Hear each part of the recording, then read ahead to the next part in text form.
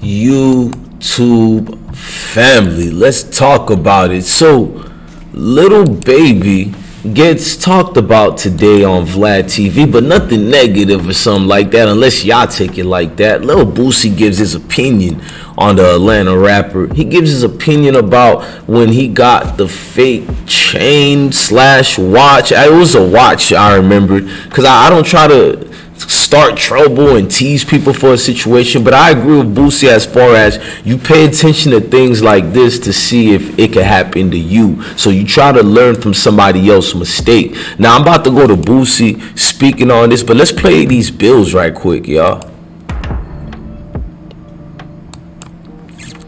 Okay, Boosie Boo gives his opinion on Vlad TV about the same jeweler Boosie on Vlad and Lil Baby getting scammed by the same jeweler because Vlad also spoke his piece about the situation. Anniversary watch. Baby, he recently posted uh, this $400,000 Patek Philippe uh, anniversary watch.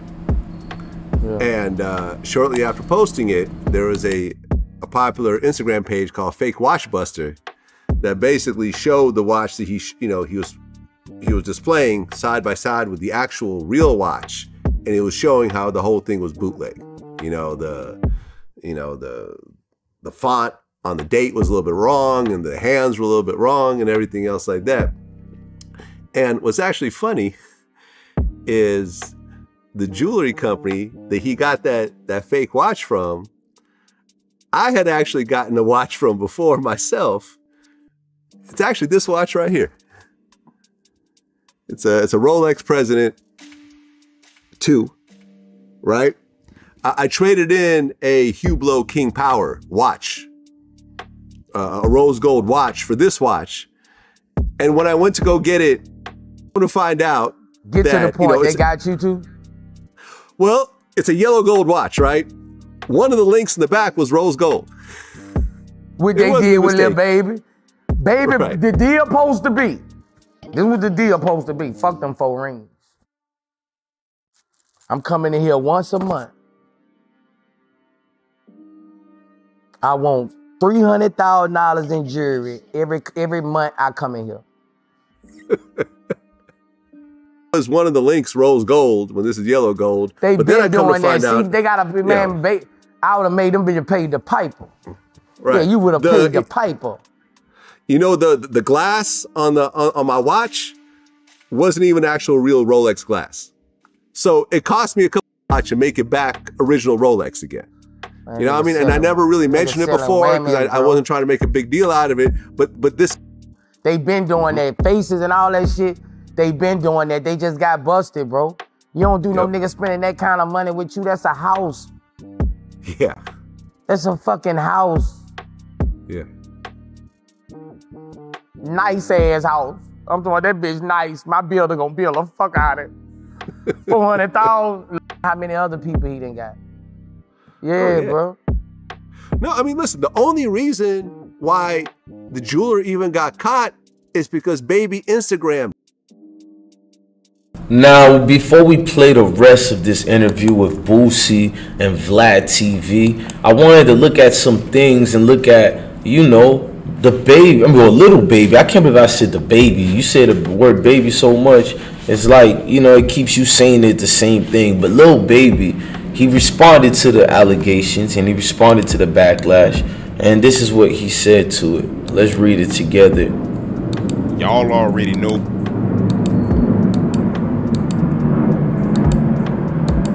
All right, hang on. I'm a this is the watch over here and you can clearly see the missing things with the real one and the fake one. Let's make sure we give you guys a better seen view. That's the fake watch right here. That's the one that everybody spotted in that famous picture. Well now famous picture. And little baby said this about it. Hang on let me put it on the screen again. He said let's read it on the bigger screen y'all. Y'all excuse me he said, damn, that is crazy. Somebody told him, yeah, bro, I hope you can get your money back. He said, for sure. I got that from Blank.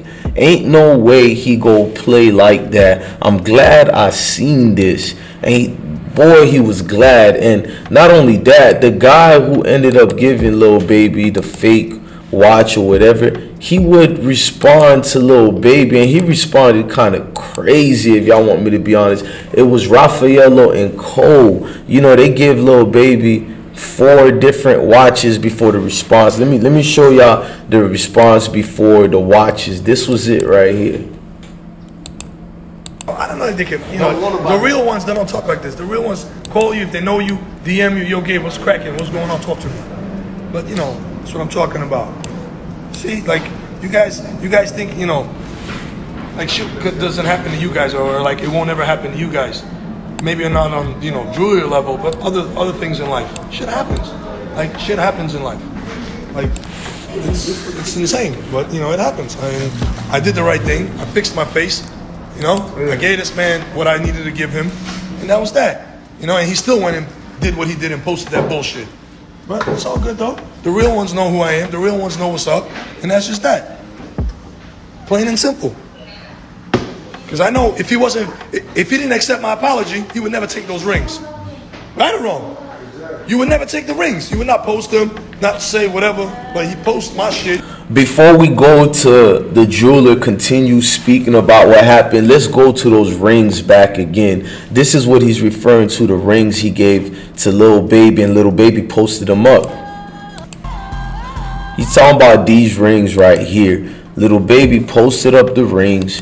You feel me? And after he posted up the rings, he said, We do stand on our name just like he does. That's why today he got those four rings for free and his money back because we didn't do our homework on the watch and we take full responsibility for that but it didn't happen intentionally and he knows that for a fact I mean, you know, it looked like this. You know, dude want his name valid. He want his face card to be perfect. He don't want nobody to think he feeding people dog food out here. He want people to know it's the real deal. And I gotta give it up to jeweler too who can say what he say, you know, to back himself up out of a bad situation. But this still gonna leave me saying I do not trust any of these jewelers. Now let's go. There's something furthermore that was said. You know what I'm saying? Because the jeweler also went on, I think it was TMZ to give his statement. But before we go to that, let's go to what Ben Jeweler, I mean Ben Baller had to say about the entirety of the fake watch.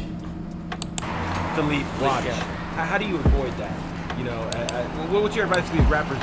You know, on, not buying fakes, fake goods. I mean, this is the thing, man. You know, right now with the watch game, right now in the last eight months, it's gone so high that watches are 300 to 500 percent marked up. Wow. You know, what sucks is the the Patek Philippe's are so limited that you have to go secondhand market. so it kind of is unfortunate, but you want to deal with a reputable person.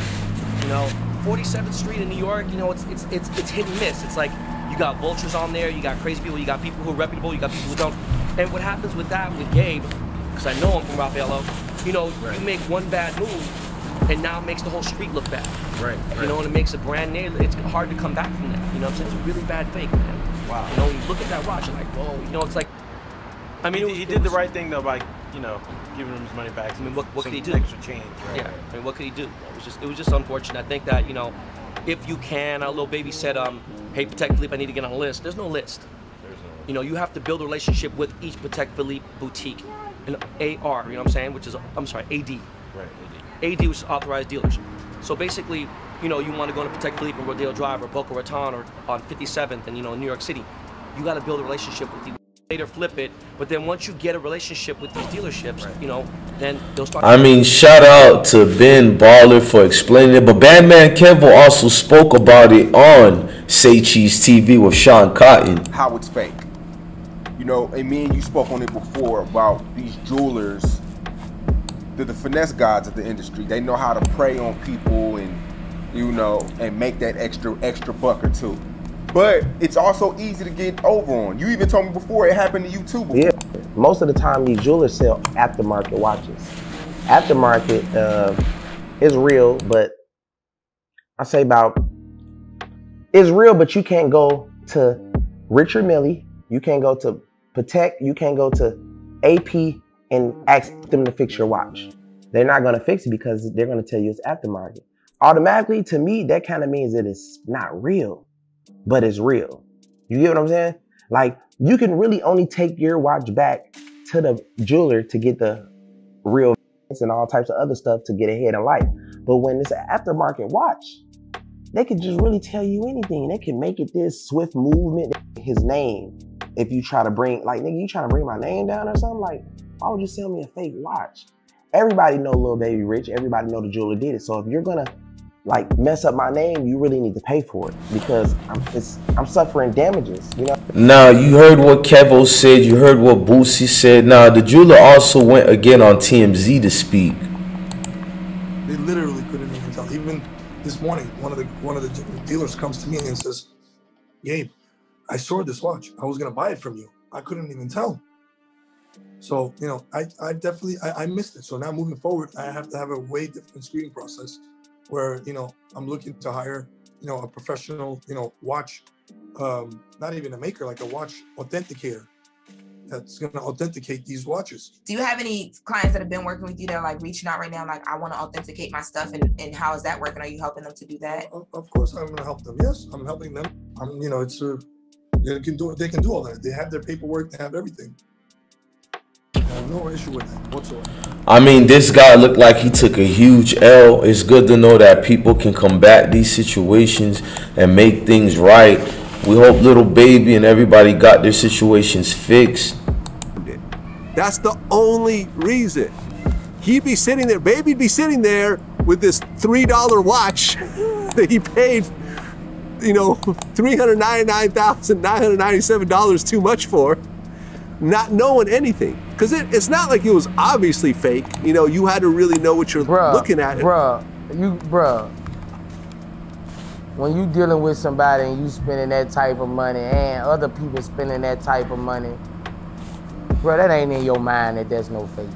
You gotta understand that, man. Like, Salute to Boosie for explaining that once again. Shout out to Vlad TV. Shout out to Say Cheese TV, TMZ, and everybody that we use today. Look, y'all have a blessed day. I'm your God bless one. Thank you for watching another episode of I Smoke Hip Hop Live.